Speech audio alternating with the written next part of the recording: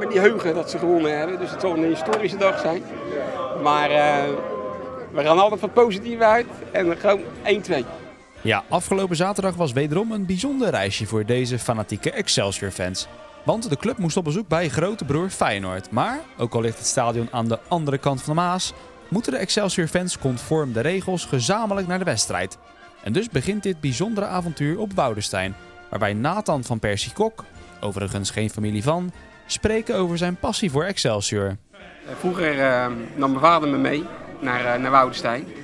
En uh, af en toe ging hij ging ook uh, naar Sparta. En toen op een gegeven moment zei hij van, joh, waar wil je nou heen? en toen zei ik van, nou, ga doen met mij naar dat rood-zwarte stadion. Want daar, daar vond ik het gewoon het allergezelligste altijd. Eigenlijk, ik denk, als ik het niet van huis had meegekregen, had ik al een keer hier gekomen. Dan had ik ook voor deze club gekozen, want het is een hele toegankelijke club.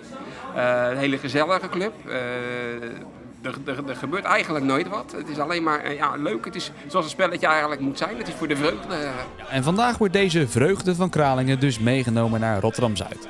Een bijzonder tripje dat dankzij de aanwezige politiebegeleiding nog geen 10 minuten duurt. Al is het niet eens Nathans favoriete tripje. Denk ik toch wel eigenlijk meer met uh, het ritje naar Sparta.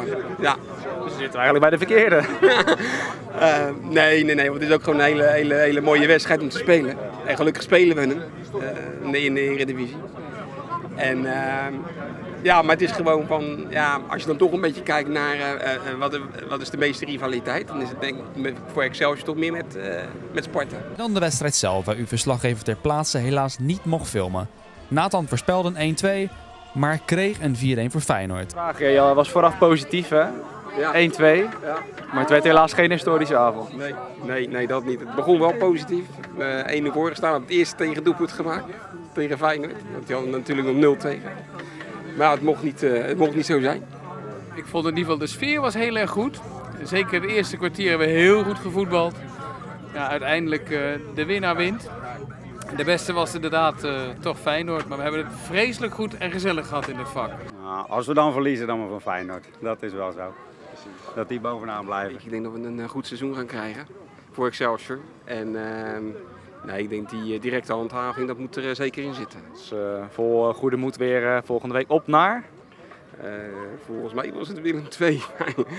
Dan moet ik eventjes kijken, dat weet ik niet. Uh, volgende week zijn we er gewoon weer bij. dat sowieso, waar het ook is.